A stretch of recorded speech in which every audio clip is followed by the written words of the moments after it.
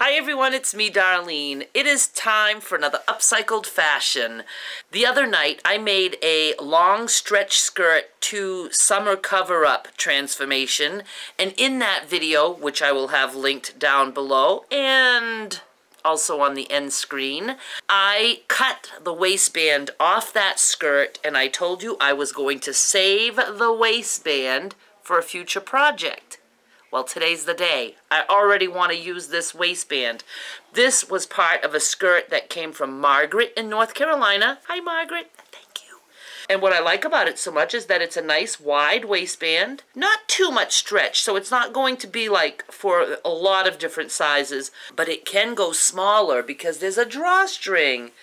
So I'm thinking that the skirt that I create using this I think it will fit my bigger mannequin, but I plan on modeling it both on the larger mannequin, assuming it fits, and the smaller mannequin, because she feels left out.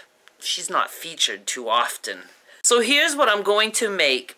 I know this is gray, and I didn't have anything gray or partly gray to attach to that, but what I did find is this maternity sweater that I got from Georgiana in Texas. Hi, Georgiana. And I think that this shade of purple, which is, I don't know, violet. I'm terrible with names of colors. I think I can use this to make a skirt, and I think that's going to go really nice with the gray. I really do. And since the waistband is so wide, it will look like a belted skirt.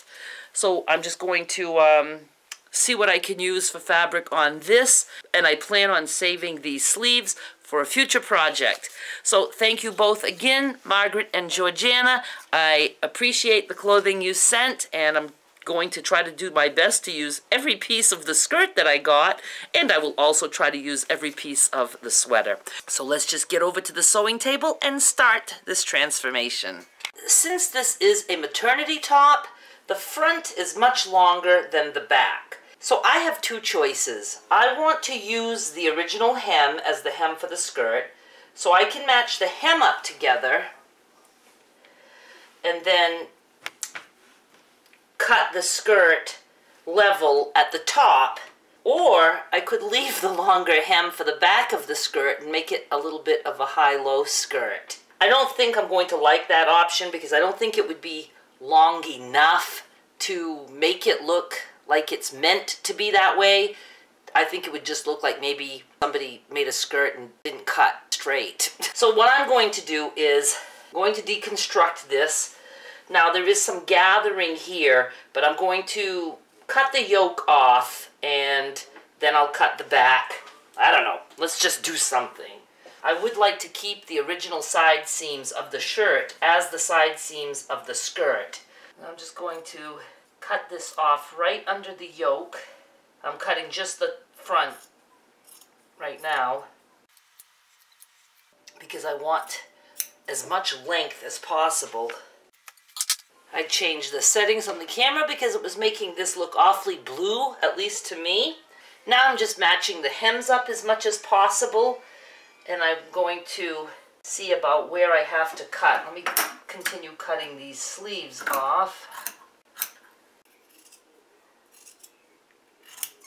I think the fabric is forgiving enough to let me do it the way I'm planning on doing it. Well, I'm just going to cut across here because I know I need not more than that. We'll put this aside right now for another project. Why don't I put a couple of pins here just so I can act like an actual seamstress.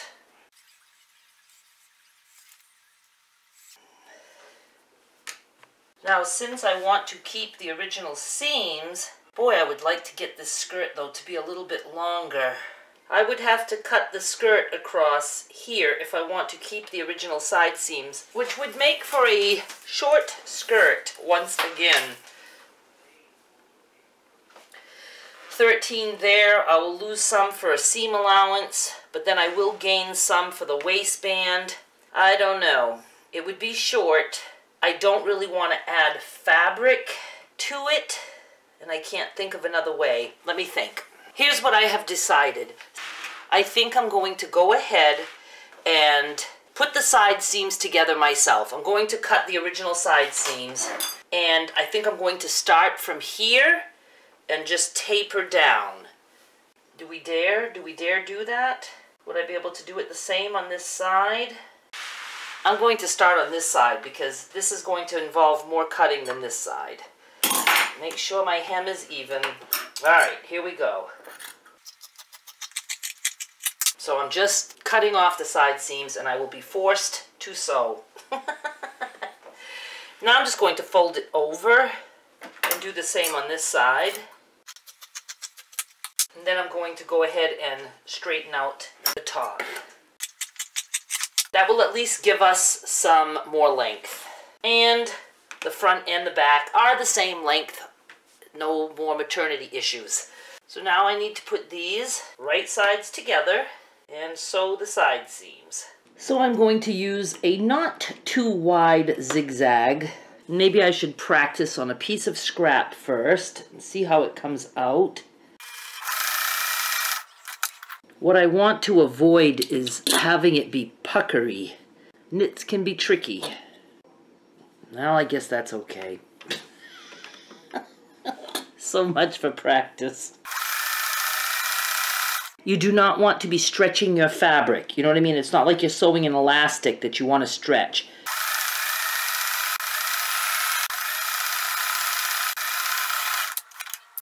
Do the same on the other side.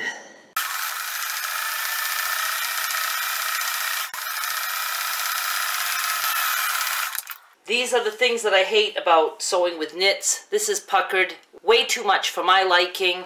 I was going to seam rip the stitches, but since I don't care what size this skirt turns out to be, I'm going to save myself all that time and I'm just going to go ahead and cut off the seams on both sides.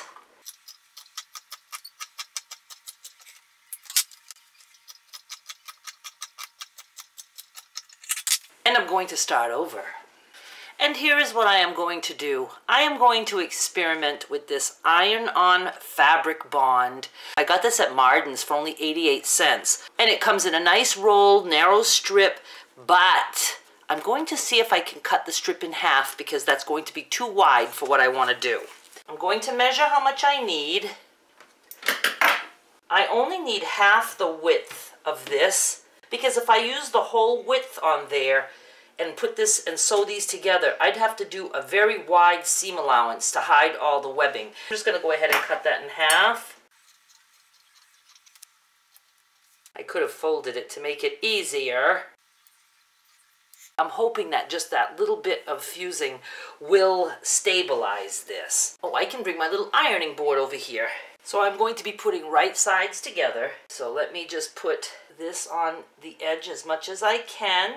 Going to try to follow the curve. Now I'm going to lay this one down, right sides together. Now I'm just going to press.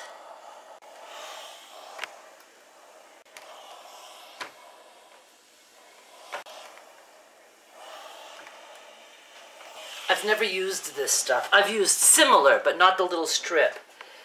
Let this cool for a second. All right, it's definitely a little bit more stable. Pretty sure that will allow me to sew a little bit better.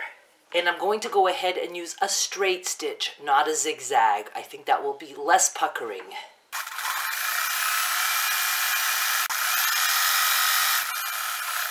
I do believe this is going to be better. The webbing doesn't show on the other side. Having a hard time with lighting. The clouds keep making it change.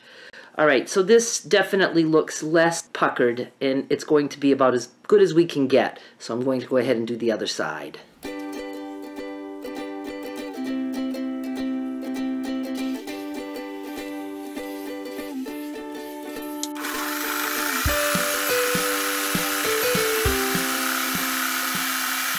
This turned out great. Nice straight side seams well, I mean, the skirt itself is curved, but I'm just saying it didn't pucker and all that. So now what I'm going to do is prepare this to go on to this. I'm going to use some of the fusing again to stabilize the waist and to also hold the hem down for me. So I'm just going to use, I guess, the full strip and I'm just going to fold that over and press.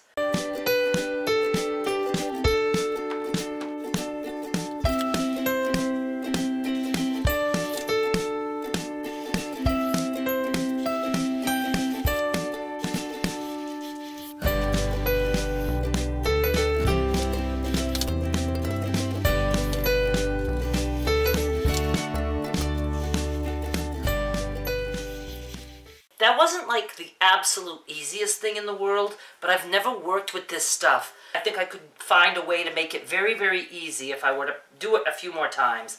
But now I love that this hem is all stabilized and already held down for me. One thing we need to do is to see if the skirt is the same width as the waistband, and it is not. The skirt is a little bit wider than the waistband, so I'll just be stretching the waistband a little bit as I sew.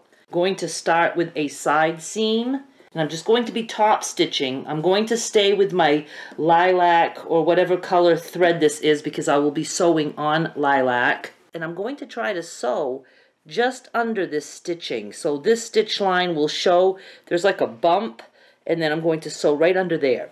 Or I should say I'm going to try to sew right under there. And I will use a little bit of a zigzag stitch here.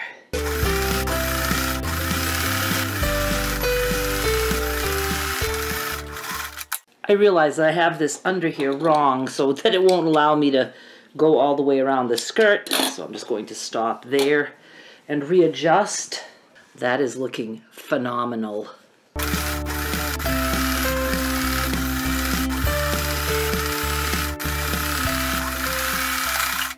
I just remembered that I didn't take a before picture of the maternity shirt. I usually hang it on a hanger on the door. I'm so sad now. But look, this came out so freaking cute. I mean, just look at it. It looks like a sporty little stretchy knit skirt. I absolutely love it. I love the gray waistband. This is kind of like a heathered color and it goes so well with that. Love it. The only thing I'm going to do is I'm going to turn it inside out and I'm going to trim this excess gray that we have.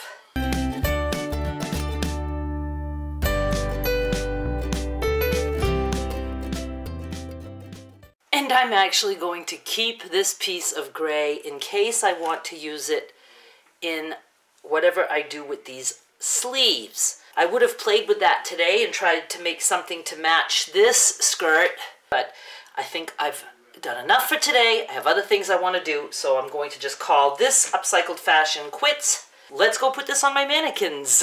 Plural. I'm going to try both of them. So far, I love this skirt on this mannequin. I mean, how cute is that? She has approximately 32 inch hips. So I did gather the skirt a little bit and I kind of pushed the gathers toward the sides and back more so the front could stay a little bit more flat, but it really didn't gather too much. She's got a pole up her butt you can see sticking out, but that's how it is in the back. And I have it a little bit lower onto her hips as opposed to her waist. Just reminds me of like a 70s style dress that's just over a tank top. So cute! All right, let's go look at the other mannequin. This looks fantastic on this mannequin too. I folded the tank top under a little bit so you can see the waist of the skirt, but it's just so pretty. Now her hips are about 44 inches. You can see on the side. I just think it is such a cute and sassy little skirt. In the back, you wouldn't really want hips any bigger than 44 if you were going to wear this skirt. And it is shorter on her, so maybe really good for a little beach skirt. I'm all about beach things. If and when I put this on eBay, I will give the measurements of the actual skirt and also of both mannequins. So you can decide for yourself. So that is it for now. I really do like this. That was such a easy transformation to do, even though I had to make new side seams. I learned new things today. I don't think I have ever worked with a sweatery knit maternity shirt and turned it into a skirt. Well, I know I've never done that. But this fabric is a knit. I mean, it's not really sweater. It's, I don't know. It is, well, it is like a sweater knit, but very thin. And it's very soft and very nice but it was so cool to use that fusible tape that I used. That's going to be a favorite of mine. Next time I go to Marden's, I will be stocking up on that stuff So I hope you enjoyed this transformation. Thank you again, Margaret and Georgiana. I appreciate that you sent me those garments. I still have plans for the sleeves of the maternity top, and I will be back with more soon. Bye!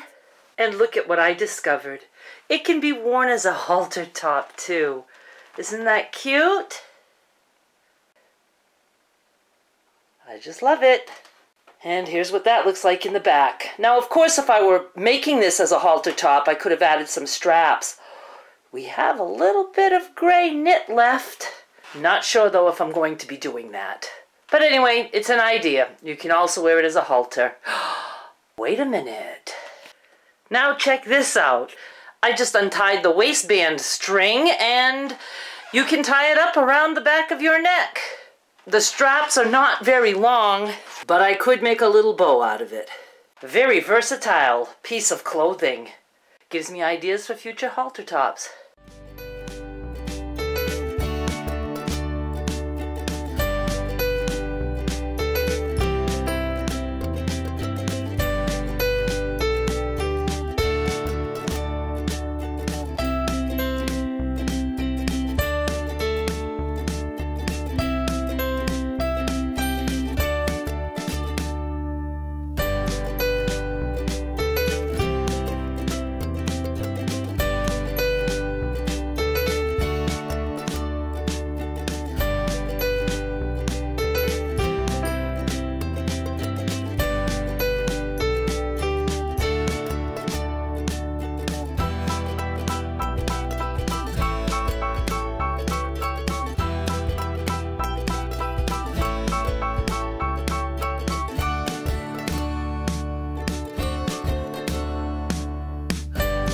I hope you enjoyed this episode of Upcycled Fashions.